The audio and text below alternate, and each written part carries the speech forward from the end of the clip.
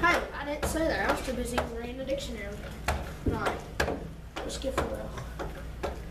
Welcome to BMS News. Hi, I'm Craig. Oh, I'm Jackson. Today we'll be learning about what's going on in the U.S. The U.S. stocks are on the rise. 25,000 acres are destroyed due to wildfires in California and still burning today, so let's make sure that goes great.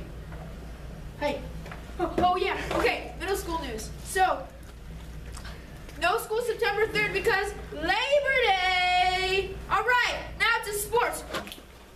Welcome, to sports. I'm Ava. And I'm Madison. This week, tryouts has started for volleyball.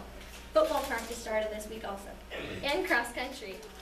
Our first football game is Tuesday, September 4th. and our first volleyball game is August 30th. Good, luck, athletes. now to weather with Alonso. Yay! It's a beautiful day out here. Hi, I'm Alonso Delgadillo, the meteorologist at Bridgeport Middle School. So it's so it's an ozone action day today. So be careful and limit your time outdoors. So the week, week ahead, we're expecting that it would be pretty hot. North Texas is expected to be under high pressure for the rest of August. So at Saturday, 99 degrees, really sunny, and Sunday, sunny and 98 degrees.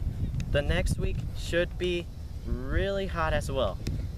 And besides, speaking of that, Hurricane Lane in Ho- near Hawaii should should be a Cat 1 near Honolulu.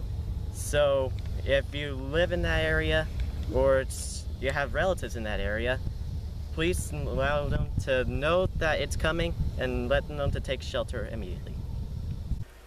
And now to vocab. Hey, my name's Augustus, and this is vocab. The word of the week is reckless. It means rash or headless. Have a great day, BMS. See ya.